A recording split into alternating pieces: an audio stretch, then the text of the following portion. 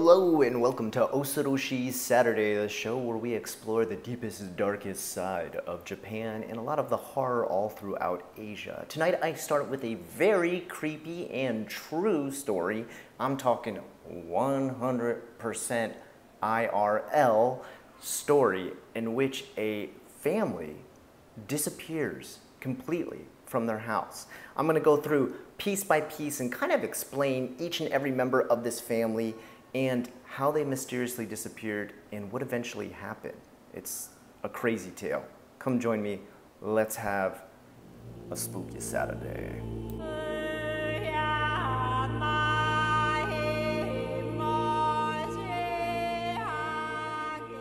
All right, so this is called the disappearance of the Yamagami family. And I've actually, I've taken a lot of notes because it's, it's kind of a complicated case. I'm gonna read through it and kind of go along with you as you slowly construct it in your mind. I will begin to build it with the different blocks of how this story is laid out.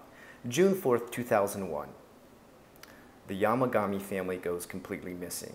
They consist of a father, 58 years old, Masahiro, mother, 52 years old, Junko, daughter, 26 year old, Chie, grandmother, 79 year old, Saigusa.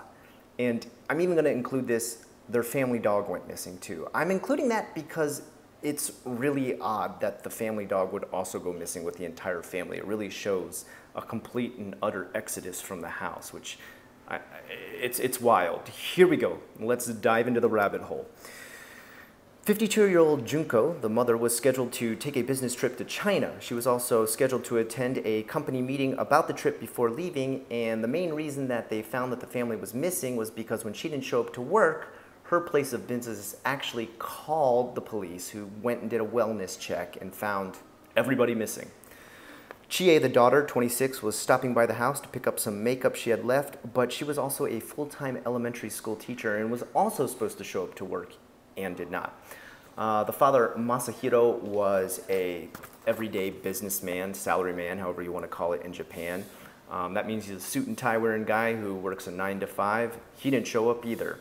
On top of it, the family dog went missing and the 79 year old grandmother, who was, of course, at this point retired, but she did help around the house. Now, here are some of the oddest aspects of all these people missing, okay? Number one, no neighbors heard any odd sounds. The only sound that they ever report hearing is the slamming of the car door of the daughter Chie when she came to the house to pick up the makeup. That's it. No struggle, no fight, no loud noises, no screaming. The neighborhood newspaper man reported the family car was gone around 4 to 5 a.m., and this is around the last time the Yamagami family was seen. All right, next page is a list of odd aspects of the disappearance, as I wrote. Number one, front door locked, back door was open. Next, kitchen light on, all beds made, breakfast made. 4 to 5 a.m. in the morning, breakfast made. I know that seems early for some of you, but usually Japanese people, they wake up early, they get to work early, they start their day extremely early, pretty normal. Yamagami pajamas were all missing. All the family's pajamas were missing, and their outside shoes were not missing, and their inside shoes were missing. That means when they left the house, they were wearing pajamas and indoor sandals. Now, I don't know where you live, but in Japan, that's not normal. Nobody in Japan leaves their house like that. Maybe, maybe if you were the most geihin ghetto type person in the city, you might leave your house like that. But this is a country family. This would not normally happen. This, this is not proper etiquette. This is not a proper Japanese family. They, they just wouldn't do this, okay? Unless the house was like on fire, which it was not. It was found totally intact. Junko's luggage was ready and packed for her business trip as well as her travel money. So she had taken out, I think, around $150 for travel money. Of course, most of her business expenses were going to be covered by her company, so she really probably brought that for spending cash. So not even like a large amount of cash that would be suspicious. Next up, they took the family dog. I add this again just because it's so strange. The whole family didn't just disappear. The family and their dog disappeared, which I know some of you include as part of the family, totally understand. But it makes it even weirder. Like they weren't lured out of the house. They were all ready to exit extremely fast. Next is, it appeared everyone stopped what they were doing when they rushed out. So breakfast had been made, the beds had been made, they were ready to eat, and then they just disappeared. On top of this, the Yamagamis had no checkered past. There was nothing in their past that showed any kind of corruption, any kind of ties to crime. Even the father, Masahiro, who usually is the owner of any kind of debt that a Japanese family would have, had no great outstanding debt. He had minor ones like a mortgage to pay off, which every family usually does, and car loans that were partially paid off. No major debts, is what I'm trying to say. He was pretty much financially sound. So this makes it so much stranger, but it gets even weirder from here. This is where we really fall down the rabbit hole. September 7th, 2002. Police recovered a car submerged in a reservoir near the Yamagami house. In that car was the entire Yamagami family, including their dog. No signs of bruising on any body, no signs of attacks, no signs of damage, Aside from a little bit of bumps and scrapes on the car from going into the ditch, even the car itself wasn't very damaged. Police settled on a murder-suicide, saying Masahiro probably lured them into his car and then drowned them in the reservoir, but this just doesn't seem to work out very well. It doesn't really make any sense. What could he have said to get everybody suddenly out of the house, even including the dog, while still in their pajamas? aside from him screaming fire, fire, which if anybody looked around was like, yo, where's a fire? Why would they have run out of the house like this and suddenly joined him in the car where he could commit a murder suicide? Um, it, it, it, really it really doesn't follow through and this is where I'm really looking to you guys in the comments section to kind of give me any kind of theories you would have. How would Masahiro convince his whole family to suddenly get in the car? Even if he did kill his family, why did no one try to escape? So there was no signs at all that anybody tried to break a window or escape or climb out of the car. When a car goes into water, you do have a little bit of time to try and escape. You can try to break the windows. And this was an older you know, car that didn't have windows that were super strong. Um, I think I'll put an image up of the car right now. You can see this is probably a car where you could most likely break the windows if you hit hard enough. Um, I realize panic sets in. I realize people freak out. Um, but you, when it comes to saving your own life, people tend to get a lot stronger suddenly.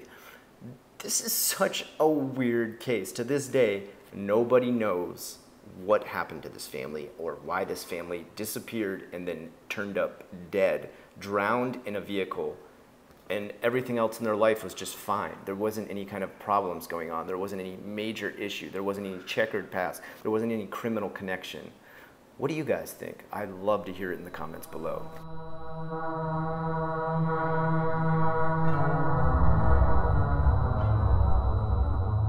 Next up, we've got our section called Know Your Yokai, in which I cover one of many yokai. There are hundreds to thousands of them in the Japanese mythology, starting all the way back to Edo era. The one we're going to cover today is known as Dodo Meki. Translation, the hundred hundred-eyed demon, also known as the many-eyed demon. Habitat, cities, towns, especially marketplaces. Diet, as a human, it eats a human diet. So I guess omnivore. Appearance Dodomeki are cursed women with very long arms, covered in tiny bird eyes. They were once human girls who developed a penchant for stealing money. Because of their wicked actions, one day, hundreds of tiny bird eyeballs sprout out of their arms and transform them into this hideous monster. Origin when Toriyama Sekien, if you don't know who that is, he's a very famous writer of all these different types of yokai. He started all the way back in Edo era. Described this yokai, he inserted a number of puns. The Dodomeki is described as being a woman with long arms.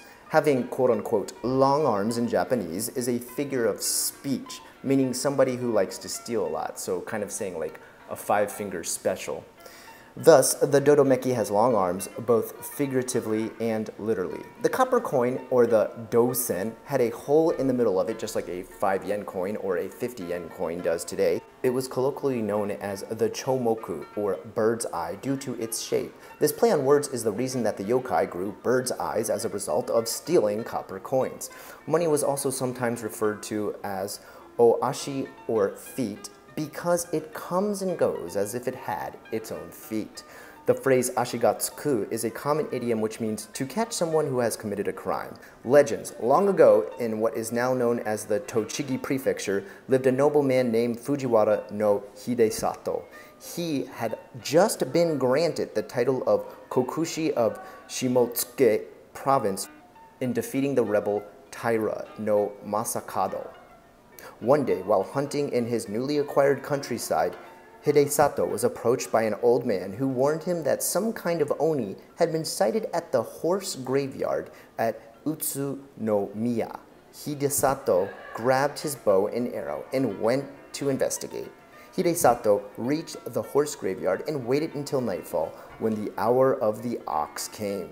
An enormous demon appeared and ravenously began devouring horse carcasses. The demon stood over 10 feet tall and had sharp spiked hair and was covered in glowing eyes all over its body. Hidesato carefully aimed an arrow at the brightest glowing eyeball and fired. The arrow hit its mark, and the demon roared in pain, fleeing into the woods until it finally collapsed at the foot of Mount Myojin. The battle was not over, for although the demon was near fatally wounded, it still had power left from its body, and it erupted in a torrent of flame. Its mouth split open and poisonous fumes spewed forth. The toxic air and intense heat proved too much for Fujiwara no Hidesato, who had to give up and return to his palace. When Hidesato returned the next day, the ground was blackened and burnt over a large area, but there was no sign of the demon. 400 years later, Muromachi period, the Dodomeki finally reappeared. A village had sprung up on the northern slope of Mount Myojin, and strange things began to happen. The temple's head priest had been suffering mysterious injuries until unexplained fires had begun to break out at the temple. A new head priest, the virtuous and holy Saint Chitoku, was called to discover what the cause of the strange problem was. Saint Chitoku noticed that one young woman stopped by the temple frequently whenever he preached his sermons and recognized it as a Dodomeki in disguise. The demon, terribly wounded, had retreated into some caves nearby to heal.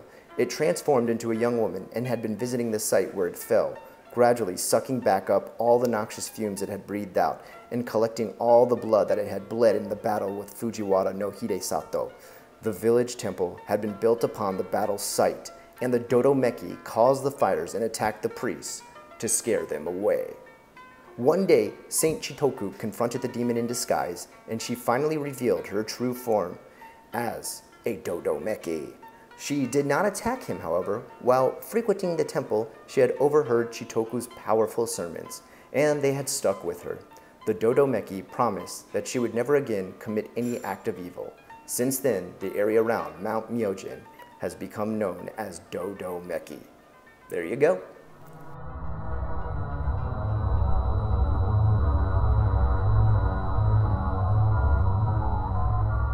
Alright guys, last but not least, ghosts on camera. As you may know if you've been a long-time viewer of my channel, this is the part where we show a bunch of camera footage of ghosts captured on camera here in Japan. Stay tuned and watch closely and be ready to be afraid. These are some scary things, maybe not for the faint of heart, but those of you who want a bit of a chill in your bones, keep watching. In our first video, we watched from a first-person perspective as a man smokes a cigarette and sadly laments about his troubles in life, everything from doing poorly in school to the large amount of debt that he's facing right now, on top of it, he talks about losing his job in the same week as facing all these troubles. The video takes a very dark turn when the man steps to the edge of the walkway he's on and then takes off his shoes. A clear sign that this man is committing suicide in Japan, as those who do usually take their shoes off so as not to carry over dirty material things to the spiritual world.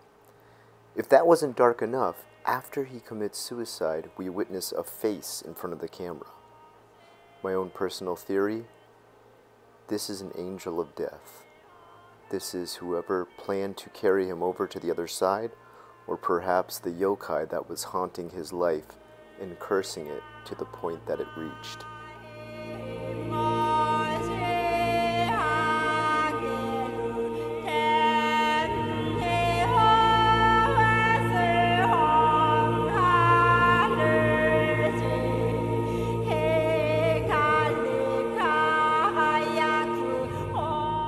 In our second seemingly innocent clip, we watch as a person records multiple Shinto statues scattered throughout Japan. These are often left here all the way from Edo era and are never removed due to the fact that it's considered unholy to do so. Although, while filming this one, the person gets a bit of a scare. As you can see, there appears to be a ghost worshipping close by.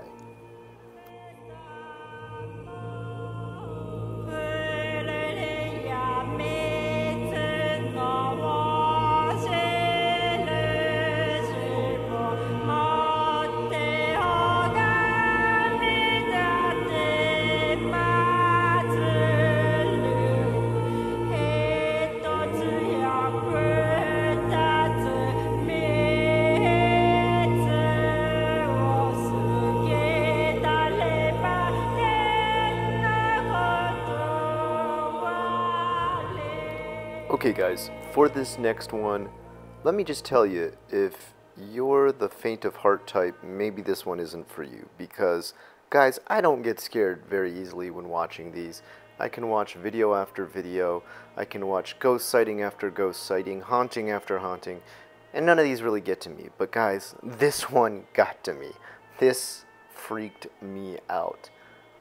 Whether this be real or fake or a hoax, the imagery alone is enough to just send shivers down your spine and leave you with trauma for years after. Watch what this person captures. I'm just going to shut up now and let you see just how creepy it is.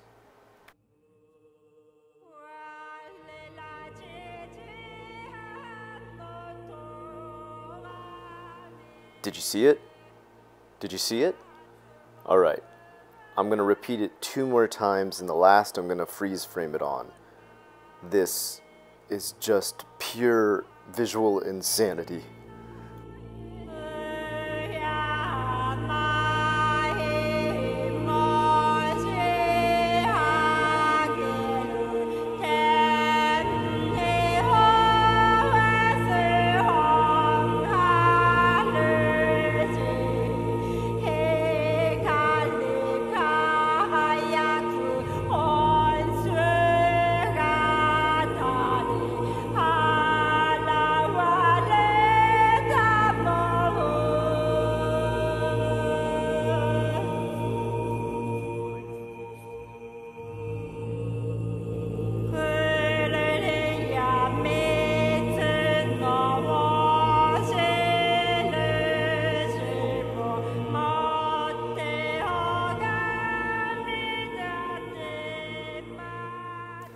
Okay guys, there you go, our very first Osoroshi Saturday of the October month of 2016. I hope you enjoyed what you saw here today. If you did, please like, comment, and subscribe, and share this video. Any bit of sharing you can do helps a ton. And let me just tell you, if this for some reason gets shared a ton, or for some reason went viral, wow, that would be a dream come true. I'll totally bring back Osoroshi Saturday forever. Um, until then, let's go ahead and keep this going for the rest of the month and see how it goes. Until next time, I'm unrested with the scary stories you requested. This is